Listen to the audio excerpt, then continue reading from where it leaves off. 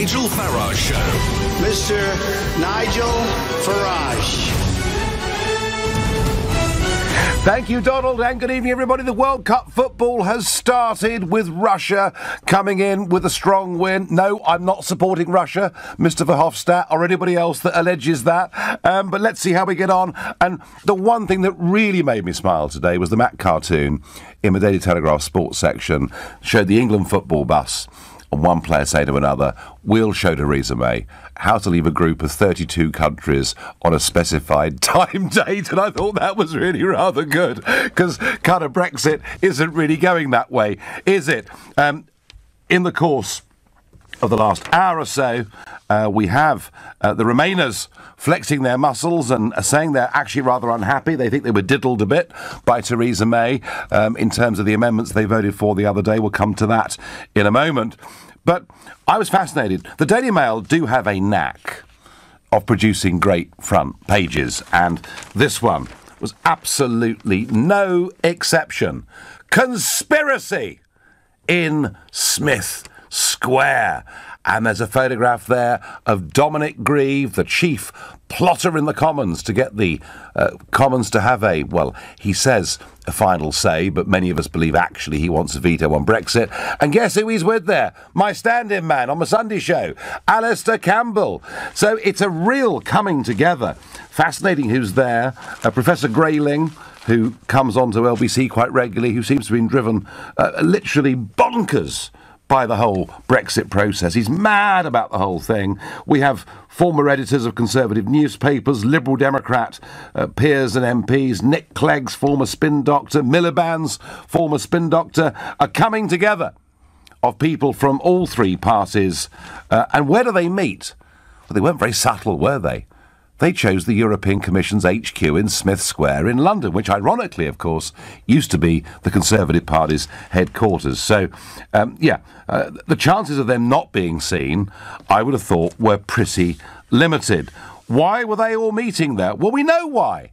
Because they all want to stop Brexit. And the truth of it is, they've had a little bit of wind in their sails over the course of the last few weeks.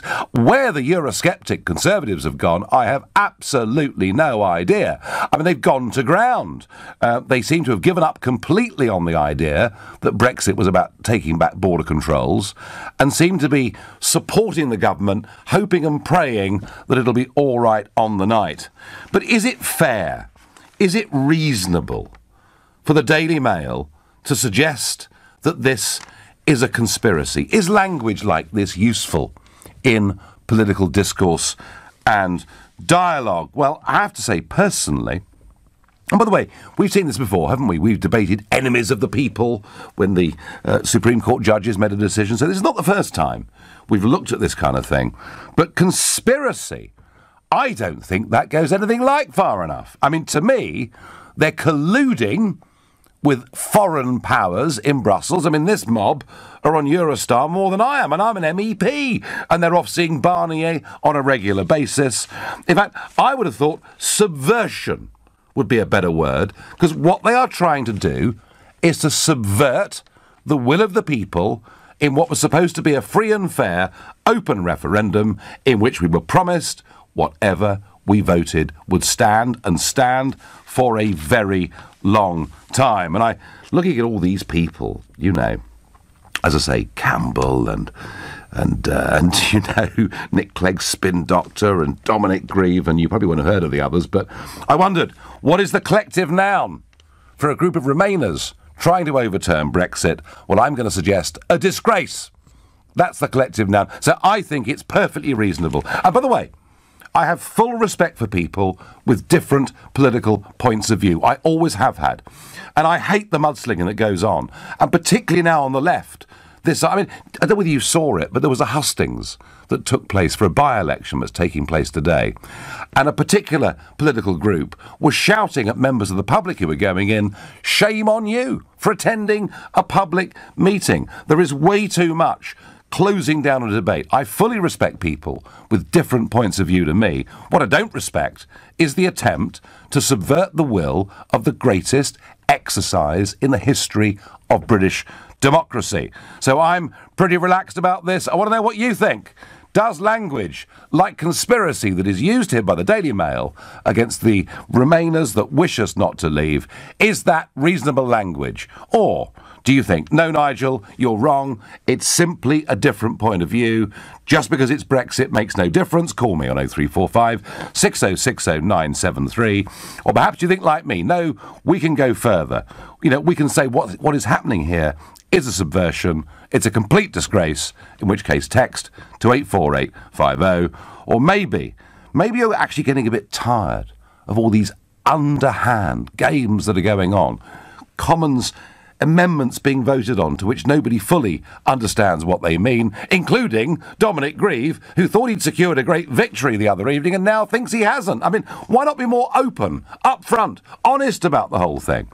And you can tweet your views on that using the hashtag Farage and LBC at LBC. And of course, you can watch us on Facebook and have a massive argument there between yourselves. And if any of, it, any of it's straightforward, I promise I will read it out. I think the language in this case is absolutely fair and proper. Malcolm is a brand new caller to this show. He lives in Balham in South London. Good evening. Uh, good evening, Nigel. Uh, it's very good to speak to you at last. Uh, Welcome. Have you been struggling to get through, Malcolm? Um, well, I tried. I, I, tried a couple of times and uh, emails and various things, and I, have been keen to share a few observations and comments with you. Um, well, I well, I tell you what. Now you've got your chance, haven't you? right here we go. I was listening very closely to the show yesterday, and uh, I was a bit confused by what was going on with all the kind of shenanigans and, and last minute. Everybody is. Deals. Well, my reflection was, and just to set the scene, I was uh, initially a Leave voter, uh-huh. sorry, a Remain voter who was kind of won over during the debate to to the Leave side of the argument based on the historical arguments and various people have heard comments made. So the, the observation I made was: Are we witnessing here the collision of direct democracy, meaning the, mm. the referendum thing, with it's kind of colliding with the representative democracy, which is what our normal democracy is predicated Malcolm, on. Malcolm, you have put your finger on a very, very important point.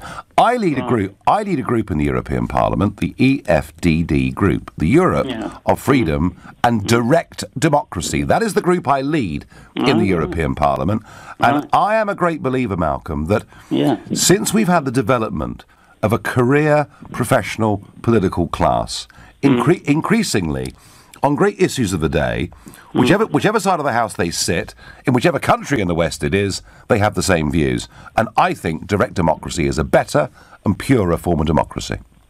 Yeah, it's interesting because the way I was thinking about it, you could almost think that representative democracy failed in the sense that it couldn't make, it didn't have the confidence uh, to make such a large decision about the future of the country. So they escalated it to the population. The population made the decision, handed the decision down, but you then hand that decision back down to the representatives. Well, we weren't supposed to, Malcolm, because we were promised, we were absolutely promised they would abide by our will, but it's not working out that way, is it? Well, no, it's the representatives' jobs to enact it, but that's where the sort of um, all the shenanigans are going on. So yeah. I just think if if you think of it as uh, the failure or the shortcomings or the, or the, boundaries of representative democracy, is that where we're heading again? Is that where the well, conspirators I, I... are trying to get us to? So if we get to that point, do we end up with two options, um, a forced general election or a forced referendum version two? It may well be, Malcolm, if things go wrong, that that is the case. And I would say to you, very interesting, isn't it, that in Italy, the biggest party at the general election with 32% of the vote was the Five Star Movement, who I know very well, and they are advocates of direct democracy. They exercise it within their own party on choosing candidates, on choosing policy. It's an online platform and they want Italians to have more say through direct democracy. And in Switzerland, they don't just have national referendums, they have referendums by canton. They even have referendums in local districts if there's demand on various forms of development. And you know what? Uh, Switzerland is one of the richest, most successful, peaceful, happiest countries in the world. Malcolm, I think the concept of representative democracy belongs way back in the last century. Yeah, just just one more thing. I think if it did get to a referendum version two, surely it must, must, must be the same binary question, because otherwise, if they try and uh, split the leave vote, between things like leaving on DO, DO I know, I know, I know. rules and and uh, or, or, or a sort of uh, the EU negotiated thing. it, might, it must be a binary choice if we get to another one. I couldn't agree more. Malcolm, I hope it doesn't come to that, but my goodness me, the conspirators, or as I call them, subverters, who met at the European Commission office last yesterday in Smith Square would love a second referendum. Mark is another new caller. He's calling from Hook in Hampshire. Good evening. Farage, how are you? I'm very well, thank you, and thank you for calling us. Uh, so, uh, yeah, I'm a big fan. First of all, um, first thing I want to say before I get onto my point is that uh, you know I think that the, the byproduct of this uh, in indecision and the byproduct of what's going on at the moment is going to cause a general election. So you'd be a fool not to take control of. Uh, your party again, mm. uh, and certainly stand for election because I think you'd win, and I hope you do. Mm-hmm. Thank um, you, Mark. secondly, I, I feel like a clairvoyant because I called up last week. Unfortunately, didn't get through. Right. And I was saying that what's going to happen is that we're going to put ourselves into a situation where the EU is going to say, "Well, hang on, all we need to do is give them a really, really bad deal mm-hmm. because." Mm. They've now voted on the fact that they can vote whether the deal's good or bad. So if we give them a bad deal, then they won't leave and that, it would delay the process and delay and, everything. And that is the collusion, Mark. Yes. That is taking place between senior political figures in our country and Monsieur Barnier, Verhofstadt, and other awful creatures in Brussels. I, think, I, I don't think it's premeditated collusion. I think it's more incompetence. I think what's happened is we, have gone into a negotiation with a person, unfortunately, that is unable and keeps flip flopping from one thing to another and is unable to really state her case in negotiation and get what she wants. Um, so therefore, she's lost the power and is now going to a situation where, and I'm coming from a layman's point of view, I don't really know politics that well. We've come to a situation where actually people get to vote on, or Parliament gets to vote on whether or not the deal is acceptable. Mm. So all they have to do is say, is delay, delay, delay yep. to force control. Delay and make the deal impossible. Mark, let me ask you a very quick question. Time is short. If we'd had a better, stronger leader, would we be in this mess? We wouldn't know. I agree. Mark, thank you. I've got to go. Got to move on. Thanks for your call. Clairvoyant Mark there from Hook in Hampshire. You're listening to the Nigel Farage Show exclusively on LBC, and it's now 7.15. If Chief Tory rebel Dominic Grieve sits down with Alastair Campbell and a group of other very pro-EU politicians in the European Commission's building in Smith Square in London, is it, as the Daily Mail suggests, a conspiracy? Is that fair and reasonable language to use? I, I'd go further. It's a subversion. It's a complete democratic disgrace. We were asked to make this decision.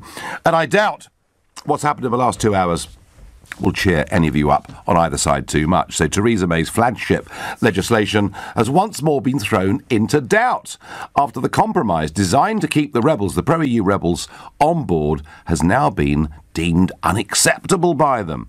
So remember, May saw off defeat on the EU withdrawal bill a couple of nights ago by persuading them that she was giving them concessions that would address their concerns about having, remember, a meaningful vote.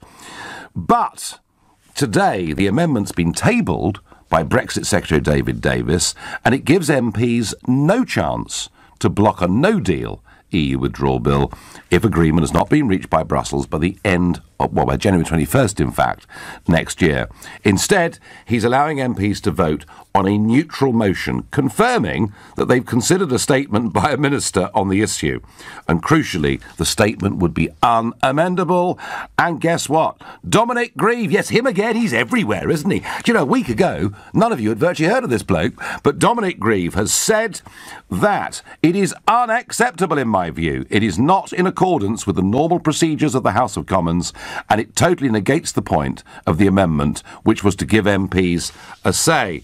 So, she thought she'd won, but it looked like she'd lost. David Davis, from a Brexit point of view, is fighting back. Grieve is saying he won't live with it. This will go to the House of Lords next week. Guess which way that mob will vote? I think I know which way they'll vote. Uh, they will, of course, vote against the David Davis Amendment, and then it will come back to the House of Commons. Whether it comes back to the House of Commons next week, whether that's put off until July, I think remains to be seen. But it is not over by a long chalk. Now, Tom, on Facebook takes great issue with me. We talked earlier about direct democracy, about the people taking decisions, not our representatives. And Tom says, Nigel, I think you're using the language of the nationalists in the 1930s. It's a nice start, isn't it? And it undermines democratic institutions in this country. Tom, the democratic institutions in this country are completely undermined. In fact, they're whole below the waterline because of the way they've behaved in the past and the way they've behaved this week.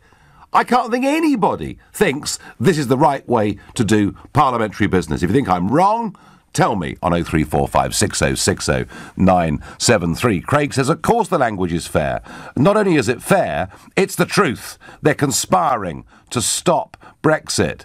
Uh, Paul says, Nigel, you can't moan about the EU saying it's a dictatorship while not wanting Parliament to get a vote on leaving. Paul, Paul, the whole point of the referendum is we were told normally in a representative democracy, we make the decisions. This time, you are making the decision. We were told that. We were told our decision, to quote David Cameron, would be final. We're finding out that it's not. And Magda on Facebook says, Why are the government and the House of Lords arguing over a vote that's already been decided? I refuse to vote again uh, for any election until this is sorted. And Magda, we had a lot of that last night.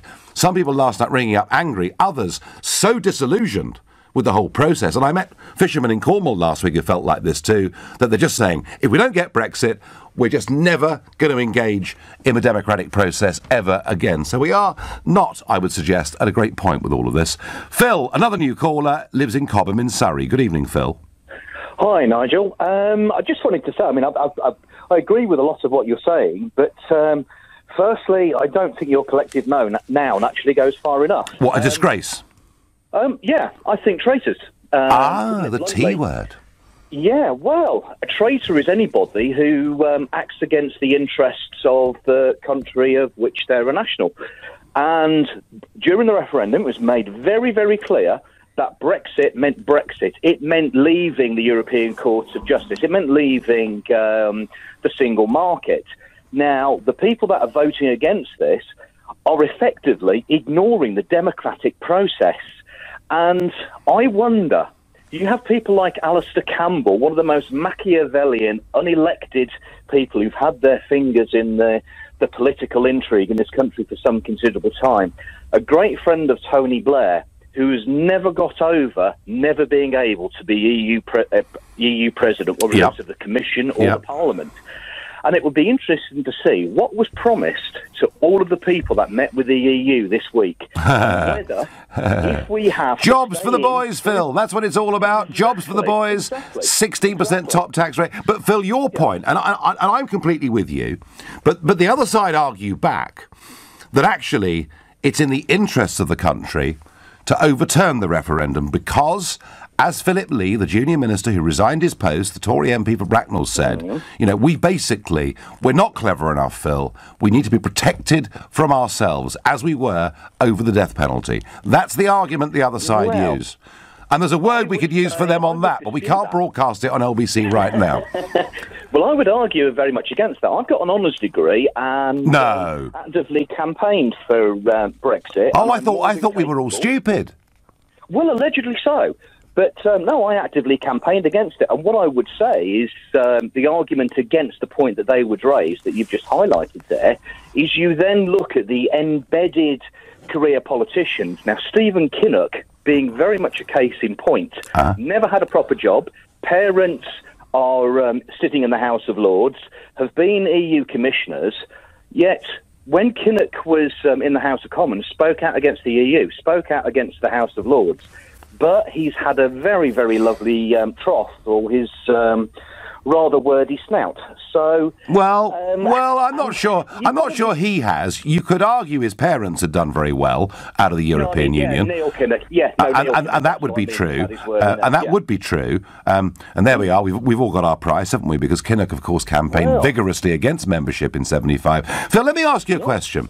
The one, the, the one thing this week that really shocked me more than anything was to see the interrogation of Andy of Andy Wigmore and Arron Banks by and the whole room, every MP was a Remain supporter and still is. Yeah. And nearly yeah. all of them represented Leave constituencies. Isn't it about yeah. time, Phil? Isn't it about time, rather than just the Daily Mail, giving us an opinion, and I think, I think they could have gone further in this case. Isn't it about time that Leave voters in Leave constituencies let their Remain MPs know what they think about this? Oh, definitely. But I mean, to the point you just raised there about Arron Banks being hauled before a parliamentary committee for alleged Russian links, it's gone very quiet on Peter Mandelson's Russian links, um, some of which well, he has um, picked well, out. Well, I don't know about that. Uh, Phil, I have to be very careful about things like that without allowing Peter Mandelson to come on, and that would really spoil my evening. So we must be careful about that. But, but, but, but, Phil, let's start to put some, let's start to put some more pressure on our MPs. Now, you live in Surrey, and if you look at the map of England and Wales, the only local government areas that voted Remain were London and, yes, your county of Surrey. So you better go and speak to your local representatives, Phil. Um, well, I have spoken to our MP Dominic Raab on it, who I believe oh, he's okay. Is, he's uh, okay. Yeah. So um, very much uh, pleased that he is repre- he's um, respecting the national vote, which was what it was all about. It was a national vote. vote. No, Phil, great points, great call. Thank you. Uh, Nigel, of course, there's a conspiracy against Brexit. These Remainers will carry on trying to stop it.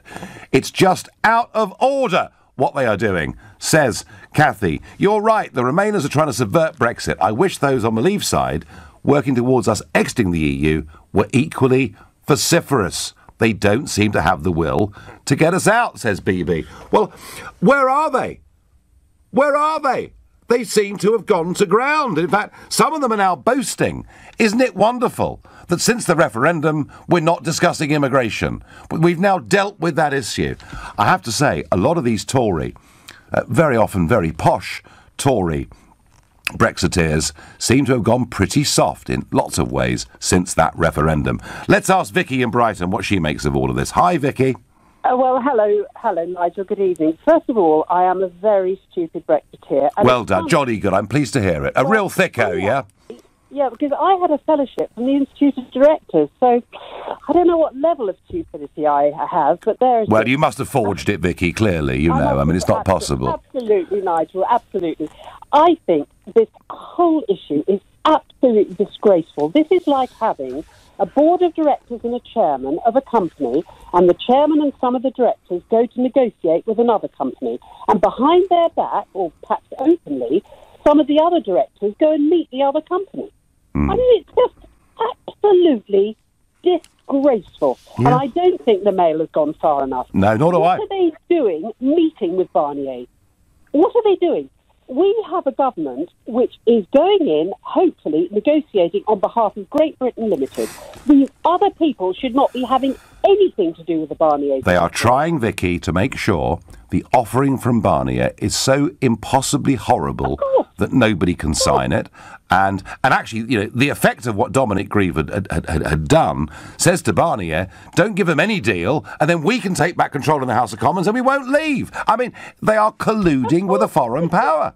Of course, but, you know, so many people I speak to, we're not dumb. We can see what's happening. Mm. You know, this is this is the ludicrous thing. And as for Anne, Anne Soubry, I mean, at least she hasn't burst into tears again, which is something. But I mean, really, really. Do you think, Vicky? TV presenter, uh, what what contracts has she ever negotiated? What contracts has, has, has you know the other guy ever uh, gone into. I mean, they haven't. Very few of them have ever worked in the private sector. Very few of them would understand that in any business negotiation, the other side need to know that you're prepared to walk away, and none of them Absolutely. have that experience. Vicky, a very upset Vicky from Brighton there, and I do understand why.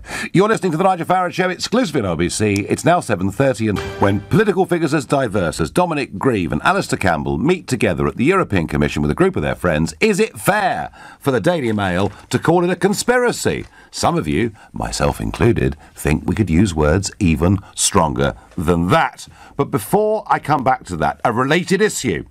Government announcement this morning immigration rules to be relaxed for non EU doctors and nurses. A lifting of the cap because we desperately need people to come in and work in the National Health Service. Two things to say about that. Firstly, from this Conservative government, all you will get ever is immigration rules relaxed. Uh, any of you that voted Conservative in the last three general elections, where they told you they would reduce the net numbers to tens of thousands a year, you were simply lied to. You've been had.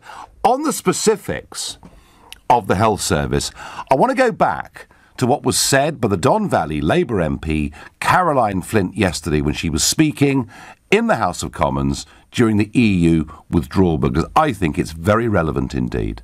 My constituents who have been insulted, those Leave constituents, day in and day out, by some of the comments in this place and outside, are not against all migration. But they do want to have a sense that we can turn the tap on and off when we choose, but also they want us to answer the question why hasn't Britain got the workforce it needs? Absolutely. Why is social mobility stopped? Absolutely. Why do we train fewer doctors? Why do we train fewer doctors than Holland or Ireland? I, would quite like to be the same political party as her, whatever it's called. It, it, couldn't be called Labour, obviously, but she's absolutely right. And we say, oh, we desperately need uh, foreign people to come in for the health service. Well, look at where many of them are coming in from. Many of them coming in from African countries, or even one or two southern and eastern European countries, where they are needed far more than they're needed here. And at the moment, you know, we simply don't train even enough nurses for use in the National Health Service. We seem to have downplayed this idea that we get people from a young age and we train them with skills, uh, you know, trades or skills, hasn't just got to be the health service, uh, and we rely on foreign labour, and the cheaper the better. But I promise you, on the big issue of immigration, you will, under this Prime Minister, get absolutely nothing, and net migration will continue at hundreds of thousands of people every single year.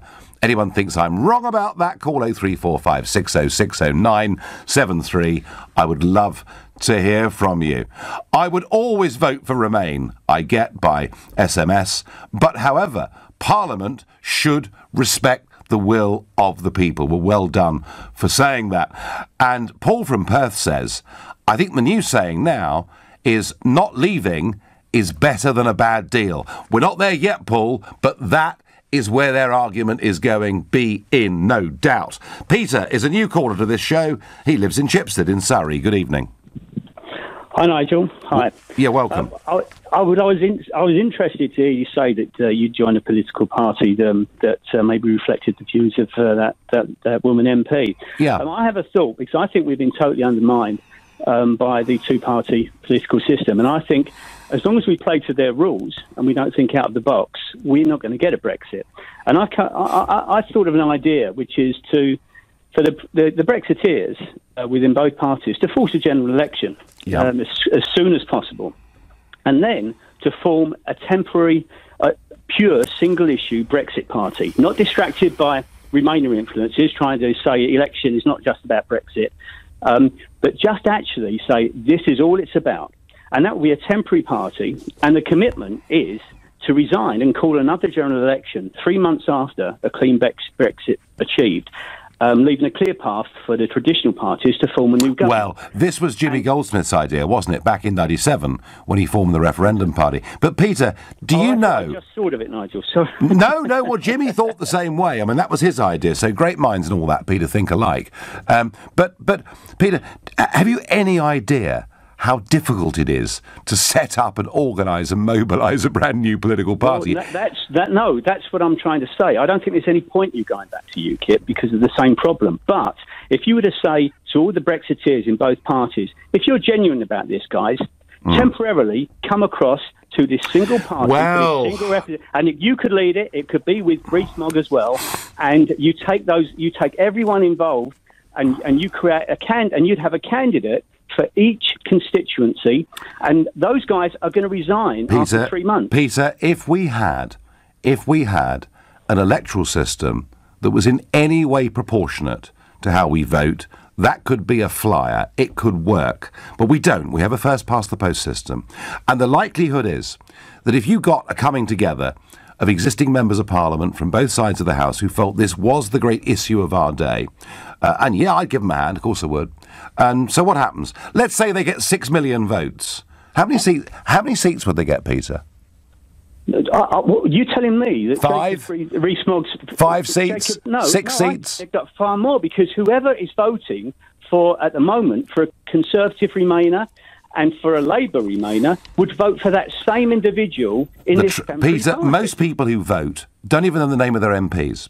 Most people who vote vote for the leader of the Tory party or against the leader of the Tory party or vice versa with Labour. We, we, Well, that's where the hard work comes in, Nigel. You know- someone's got to do it because it ain't going to happen otherwise. Because you'll be okay doing what you do on the radio, um, and you'll you'll you'll carry on complaining about it, and you'll you, we'll have the Conservative MPs doing exactly the same thing, but we won't get a Brexit. well, I've done a lot more, Peter. I've done a lot more, Peter, than complain about it. You know, I mean, I I, I, I mean, I nobody has done bare knuckle fighting No, against the establishment more than I have. Um, but the problem, wanna get you Peter, is the problem is we have a first past the post system. As I say, six million votes would get you six seats. Eight million votes might get you thirty seats, but you ain't going to get three hundred seats. It's just impossible. It I ju- think, be, I, I, I think even the threat of it, Nigel, would put a shot across the bows because it could split the Conservative Party Yeah. forever, and that would be Yeah. the only way that you're going to get them to move. Yeah, So yeah, yeah. I think that's right. I think. I, I, I think the idea that this electoral threat would win 300 seats in Parliament is, unless we have a total revolution in politics, impossible. But the idea we could frighten the death out of them, uh, particularly with Labour voters in the Midlands and the North and South Wales and Tory voters elsewhere. Yep, political pressure, Peter, it could work. Uh, and thank you for giving me that responsibility. It's a really, really kind of you. Thank you very much indeed. On Twitter, I get there's no conspiracy. It's just rubbish what's happening. Claudia, many would agree. Ben in Chatham picks me up on a point, and he's right in a way. Nigel, they are not colluding with a foreign power. We are still partners. Ben, technically you're right, but we have voted to leave, and just the way, the way that we're working with Barnier and Verhofstadt and the others, I think the whole thing is a disgrace because we're doing it against the settled will of the British people, and therefore, actually, do you know what? I'm not going to. I'm not going to concede too much to you, Ben, on that point. Duncan is a new caller from Romford in Essex. Duncan, good evening. Good evening. So, was that word used by the Mail conspiracy? Was it over the top, or wasn't it strong enough? No, I think it's fairly fairly accurate, really, um, because after all, they um, they are trying to subvert the result of the referendum. Yep. I I am a conservative, uh, a member of the Conservative Party from Romford. Um, you may have noticed that my MP Andrew Rosindell thinks that that Theresa May is going to stand up to this pressure. Yeah, I mean, I mean, Andrew, of course, your MP, who I know and like very much. Actually, I went to. I went to a birthday party of his last year. Um, I do like him. Um, he's very, very strong on Brexit, but but he d- does he still genuinely believe that Theresa May is going to deliver the goods? Well, uh, the, the the fact of the matter is that she'd have to explain away a heck of a lot of what she said because she's on the record as saying we're leaving the single market. She's on the record as saying we're leaving the customs union. Yeah. And I don't see how she can go back on those honourably. No, but Duncan, when? I mean, is that in 2021 or 2023 or I mean, when?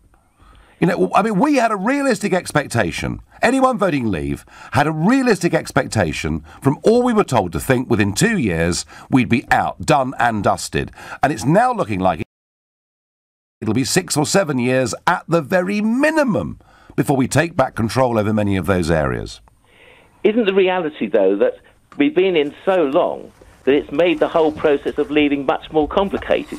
And therefore, that's a large part of the explanation for the delay. Well, it's complicated if you don't believe in what you're doing, I suppose. I mean, I mean, is there a lot of work to do, Duncan? Yes, there is, and it's shameful that the government had no, no preparatory work at all on this.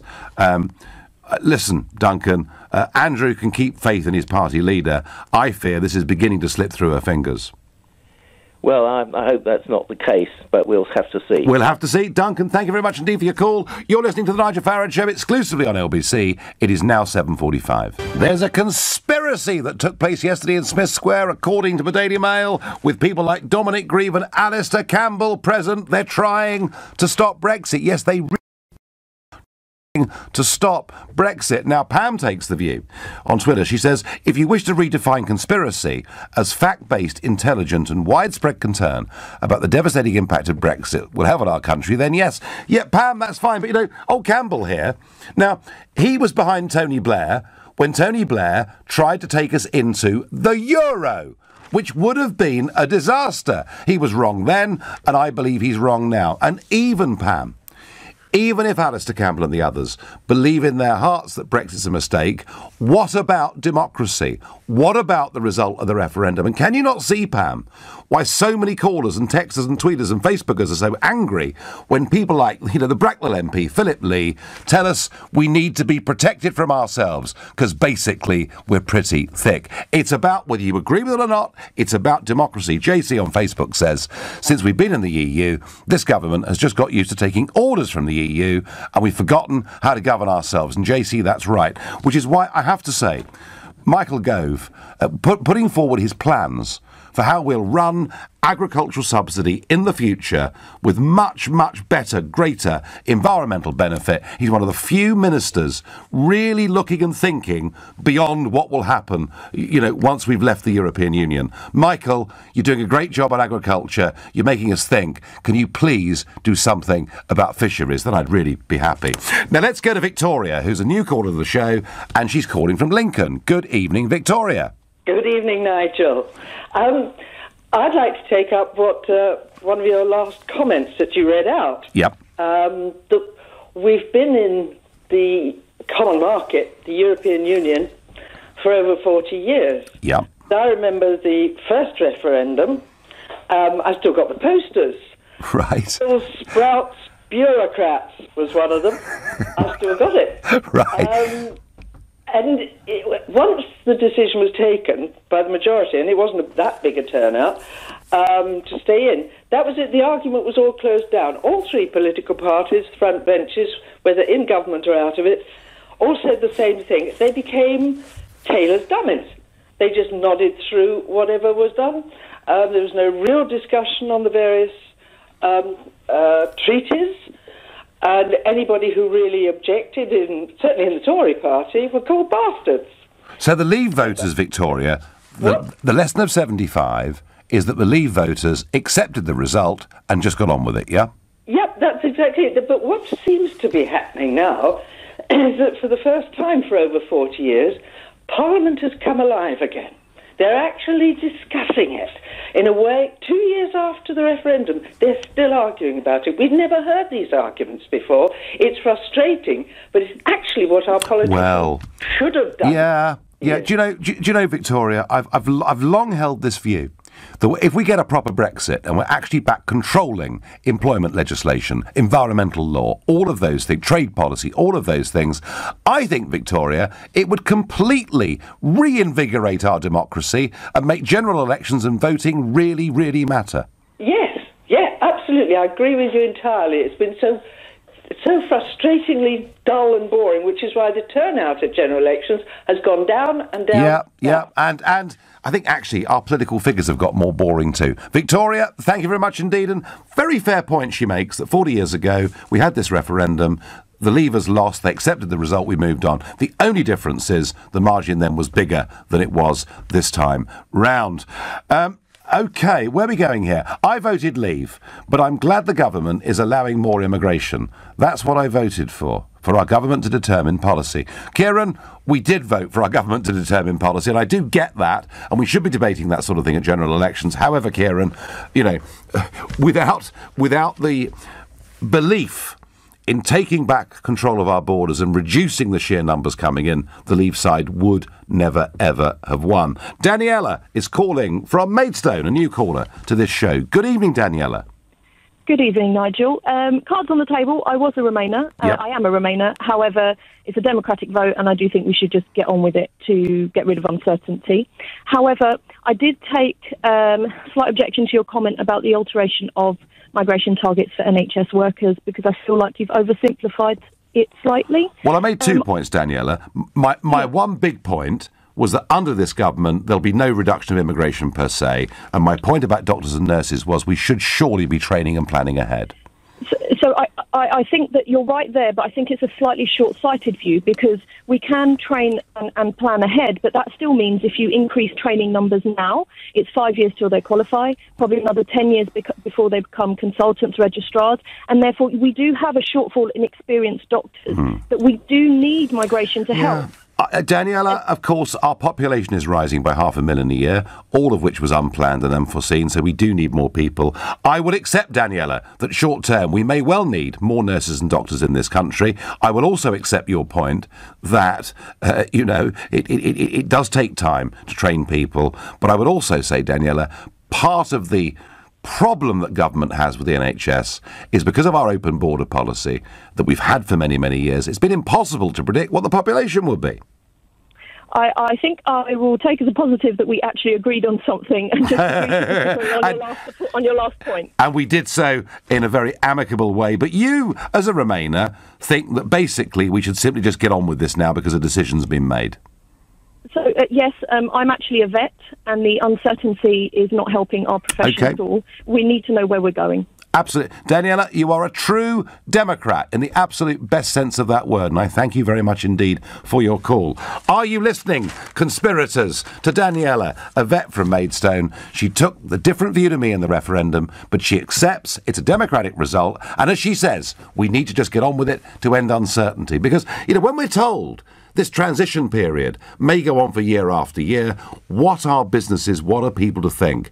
Even if some of the outcomes of Brexit short term don't suit every business, the point about people in business is you give them the hand of cards and they will adapt and adjust and play with them. That is how the free market actually works, folks. It really, really is. Nigel, if Theresa May had been a stronger leader, she would have put these Tory rebels in their place or rejected them from the party, says Mark. Well, yeah.